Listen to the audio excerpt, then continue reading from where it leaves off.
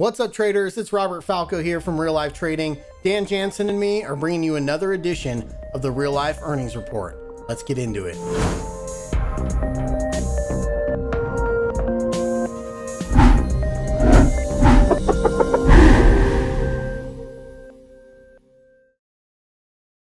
All right, good afternoon, Dan. How's it going?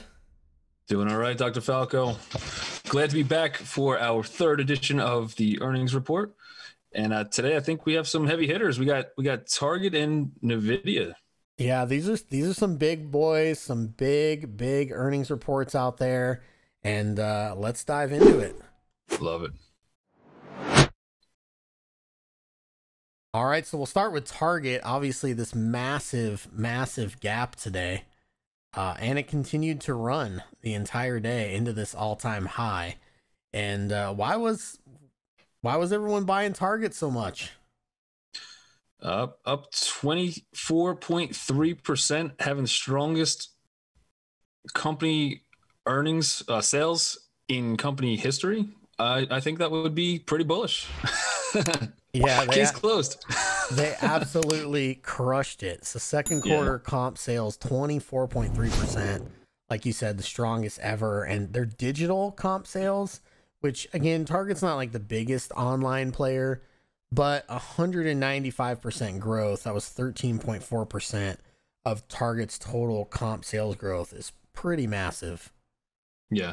I, I think the biggest reason this continued to just keep running, it is um, in the same sense of, I mean, almost everything has to do with coronavirus and what's open, what's closed. Everybody knew Target should be good that was one of the the larger guys. Walmart, Target, those guys get to stay open. Small businesses have to close.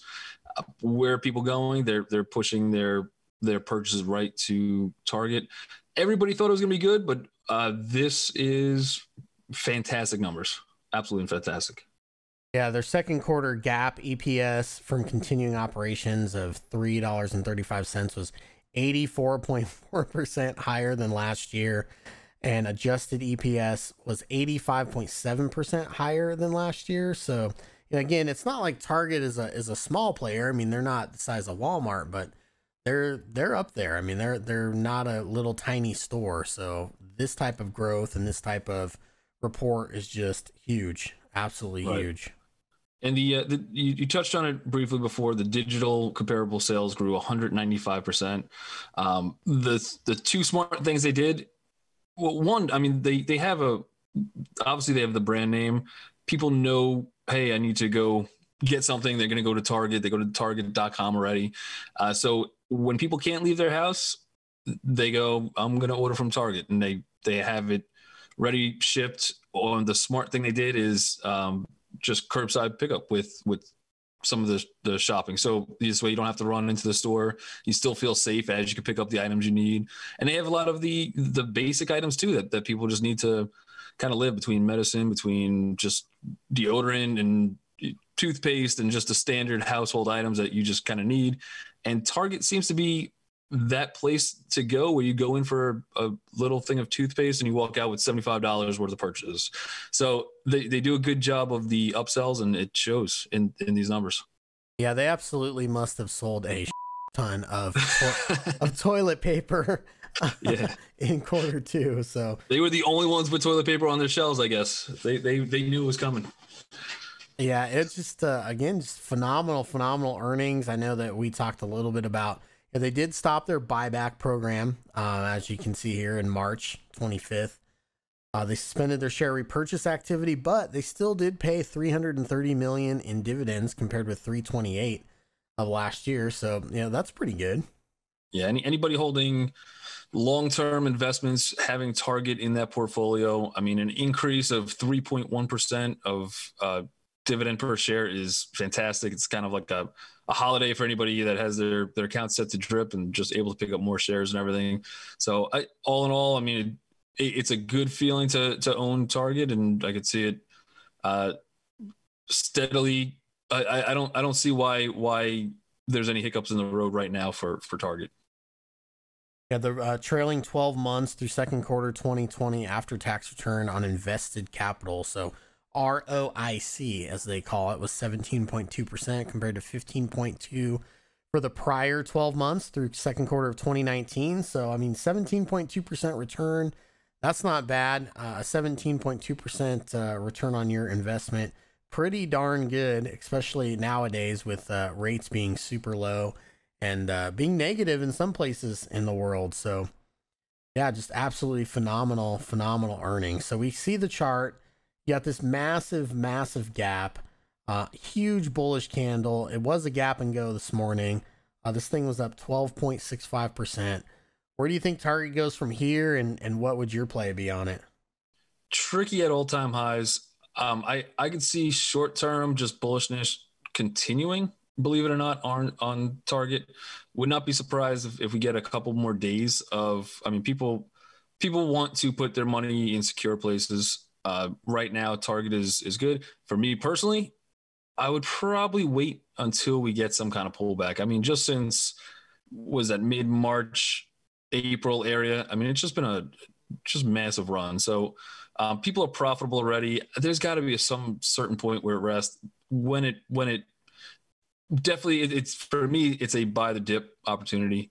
If I was to get in this, I, I mean, I just can't chase when it's up 12% today and previously it's almost up 100%, uh, not quite 100%, but 85% from where somebody could have got in back in April. So um, I, would be watching it. I, am not going to be quick to purchase here, uh, but I understand why people want to continuously just add it to long term and and um, you know grow it grow it on a longer term basis. Yeah, it did have a really big gap over here on earnings. It had another big gap over here on earnings.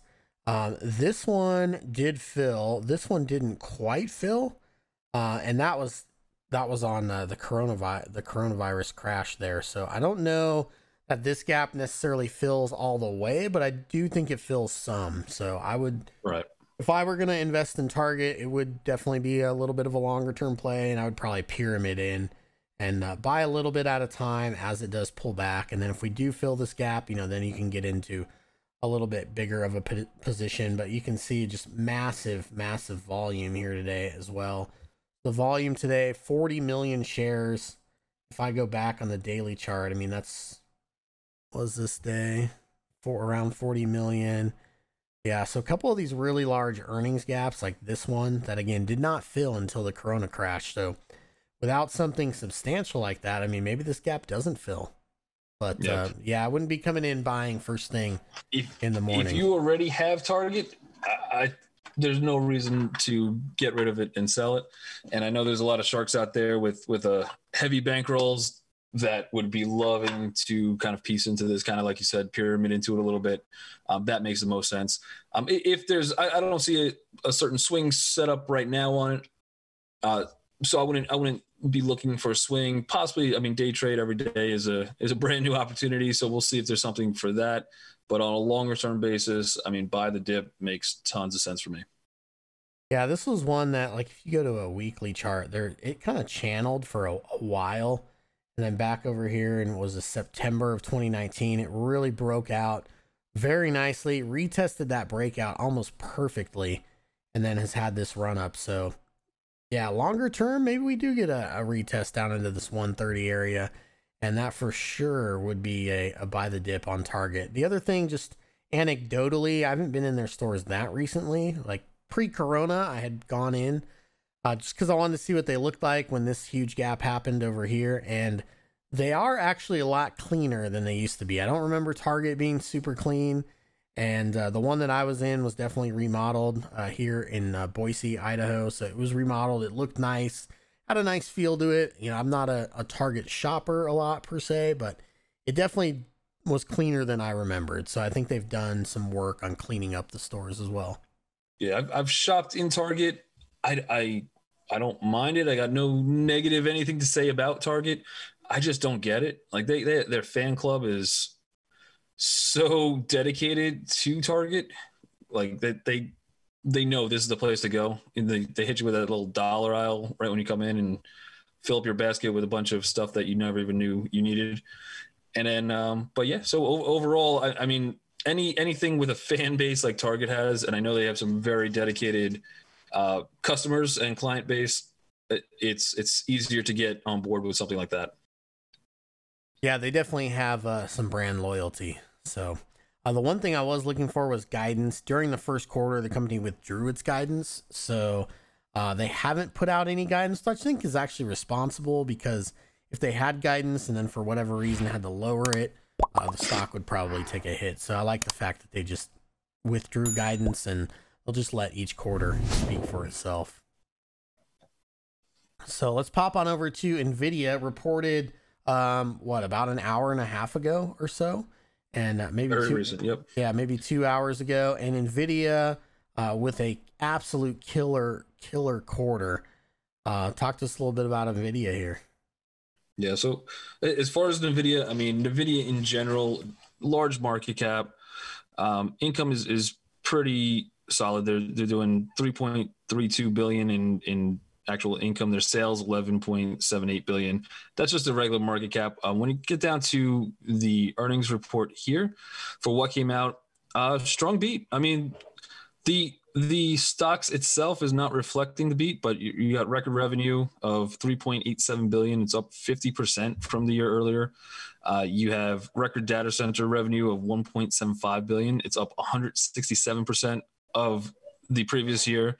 Um, and then they did have the, uh, I believe they acquired Mellanox, and that's going into a lot of their their numbers as well. So um, the growth accelerated in its first quarter as part of NVIDIA contributed uh, 14% of revenue. So overall, I mean, the numbers are strong. I mean, there's, there's nothing to not like about the actual report.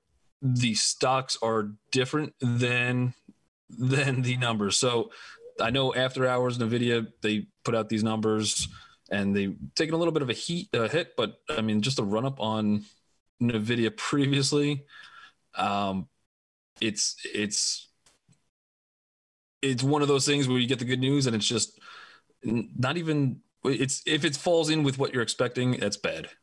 That's that's what it seems like. Yeah i don't think that no matter how good their earnings were i don't think it was going to do a whole lot uh, right. it was priced in for about a because i was looking at some options uh, this morning it was priced in for about a $33 move um, and this is going, it looks like it's going to be less than that unless something, you know, massive happens. But right now, down about seven bucks. So options buyers getting absolutely crushed on earnings, um, as they often are because there's just so much implied volatility. Um, killer, killer report from an NVIDIA. But as you said, they just, they've ran up so far. I mean, this was just at 400, went all the way up to 500 within a couple weeks. But I really do love this data center beat. I think this is a huge growth area, an opportunity for them to continue to grow. I don't personally know a lot about Mellanox, uh, but they contributed 14% to the revenue, so that's cool. And the data center actually produced more revenue than their gaming sector, which was um, pretty surprising. That's the first time in history that uh, that that has happened. So this is their um, their NVIDIA A100 powered systems tackle the most complex challenges in artificial intelligence, data science, and scientific computing. So, a lot of exciting stuff around their data data center. I know their gaming is hot. I mean, I just recently built a new computer, the one that I'm using right now, and it's hard to find the graphics card that you want. At least, you know, on Amazon, you know, a lot of things are out of stock or there's a lot of people that are marking them up and trying to sell them secondhand because they're out of stock with the regular suppliers or on Newegg you might not be able to get the one that the one that you really want. So with everybody home, whether it's working from home, kids at home, you know, from school, they're doing a lot of gaming and you really have got to have an Nvidia graphics card. Uh, AMD graphics card have came a little a little ways, but the Nvidia just hands down a much better graphics card. If you do any type of video encoding or streaming, there's a separate chip on the NVIDIA graphics cards to do like video encoding called their NVENC processing or their NVENC uh, processing processor. And that thing is just fantastic. I mean, that's that's the go-to. So I know that gaming has been hot, and if data center is going to beat that, then that's huge. Their revenue is up 24% um, from the previous quarter, 26% year over year on uh, the gaming sector. And then uh, this automotive one was pretty interesting. What do you think about this? Yeah, they, they just had the partnership with uh, Mercedes Benz. Um, I'm not too familiar exactly how much revenue that would bring in or what exactly aspect that they are uh, partnering with. I don't know if you know more about the actual deal itself of, of what kind of services they're providing to them. I don't specifically the uh, outside of the fact that I know they're providing processing power for the artificial intelligence for uh, self-driving, so the AV autonomous driving software. Uh, they previously Nvidia made the chips that went into Tesla. Now Tesla stopped using Nvidia and made their own chips. I think to obviously protect some proprietary information that Nvidia probably would have needed to use. And even though they could have used NDAs and all that other stuff, um, kind of like Apple does, you know, when they make their own chips instead of using someone else. I think Tesla wanted to bring that in house, but Nvidia already has some experience doing that with some of the self driving and uh, things like that, and the AI for vehicles.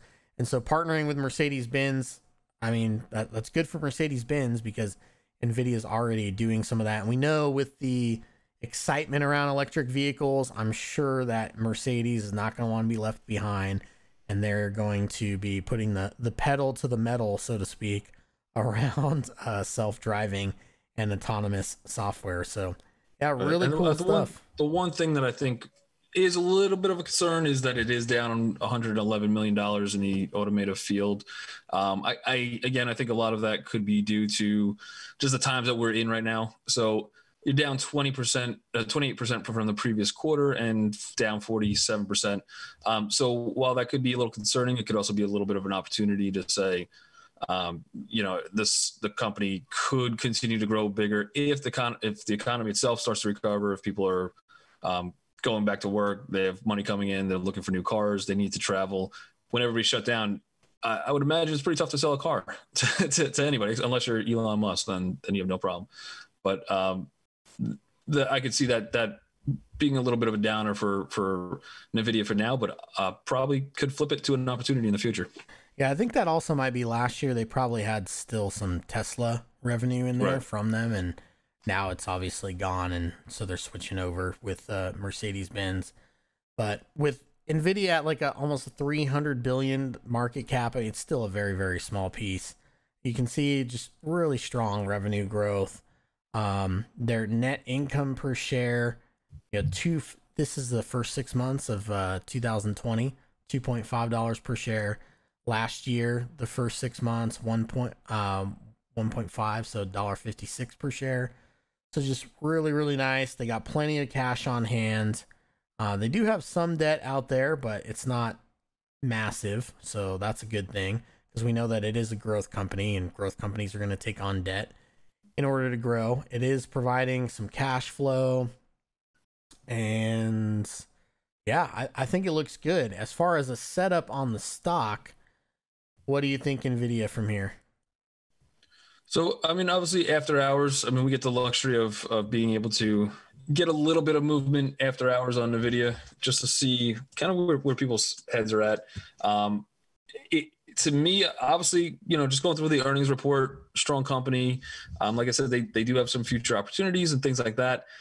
The run up that it's had, again, I mean, since this one probably started a little sooner, maybe even uh, mid March area, just just a massive run. I mean, if you just took, if you bought ten shares of Nvidia back in March and forgot that you own them, you're sitting there pretty happy today. So everybody's profitable. Nobody's getting beat up from it you you really need some kind of just outstanding report numbers, uh, like just blow it away like Target did, um, just to just to get this thing to move a little bit higher.